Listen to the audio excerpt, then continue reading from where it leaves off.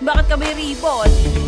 Oh, happy birthday, Lucas. Gulo-gulo ng color. Ang tema ng birthday ni Lucas ay Ayos bahay. ha? La, la, la. Oh, okay. Banda.